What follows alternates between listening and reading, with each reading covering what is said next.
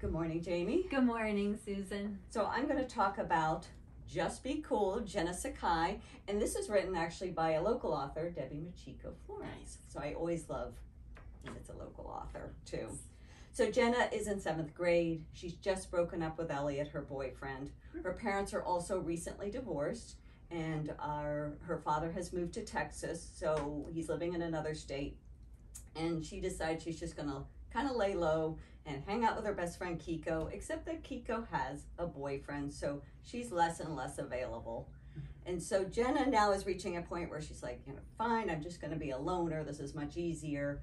And she finds this great diner that has a Broadway theme, and each of the booths have um, is named after a Broadway show. So she finds Hamilton the first time she's there.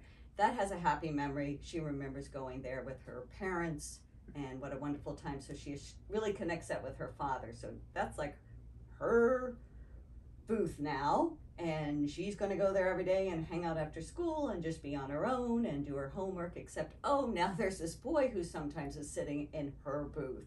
So it's just like issue after issue. The big thing she finds out though is being a loner is actually pretty darn lonely. And add to that, she is tamping down so much emotions and holding them in, which is really, we know, not a healthy thing to do. So this is realistic fiction. This is that realistic fiction though that's at the very tippity tippity top of middle grade.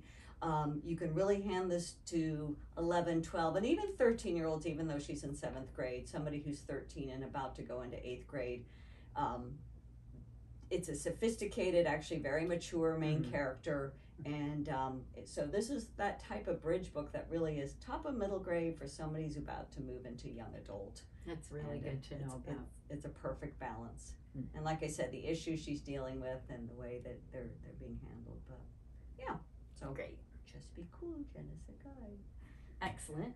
And I brought um, Fright Watch number one, The Stitchers, just came out in paperback. So, um, Stephen King says this is the perfect book for kids to cool off with on a hot day because the chills come guaranteed. So, when Stephen King is recommending a middle grade novel, you know it's going to be good. I read this book and absolutely loved it back when it came out in hardcover. It's a wonderful mix of mystery and scare.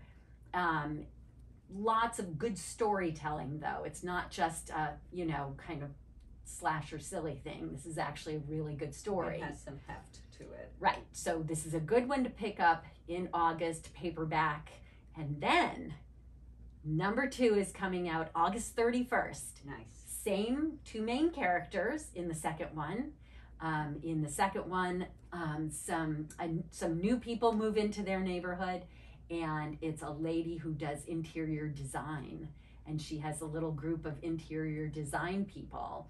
And one of Quinn's friends is really happy that some people with style have finally moved in, but all these ladies only wear white Mm. and they seem to be up to some pretty creepy things. So, number two promises to be awesome. Start with number one in paperback, and you'll be ready for number two. You'll get two books read before the end of summer. Perfect.